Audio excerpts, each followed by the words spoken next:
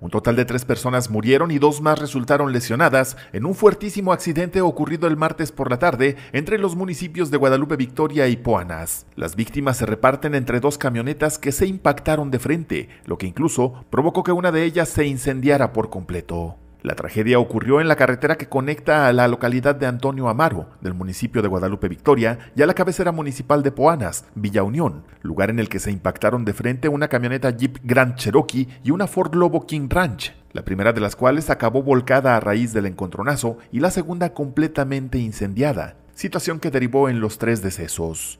Según los informes de las autoridades, las personas fallecidas son dos ocupantes de la Cherokee, Antonio Jesús Duarte Sida, de 32 años de edad y originario de Canatlán, así como Jesús Alejandro Arroyo Valdés, de 24 años, con domicilio en Puanas, mientras que el señor Javier Rodríguez, de aproximadamente 60 años y originario de Lerdo, murió calcinado a bordo de la camioneta tipo pick-up.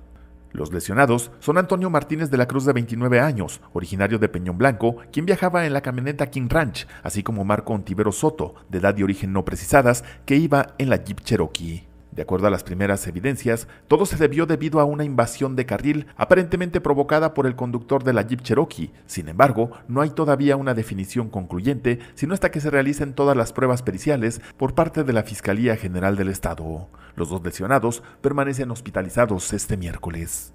Con imágenes de Brian Hernández, informó para Tiempo y Espacio Luis Lozano.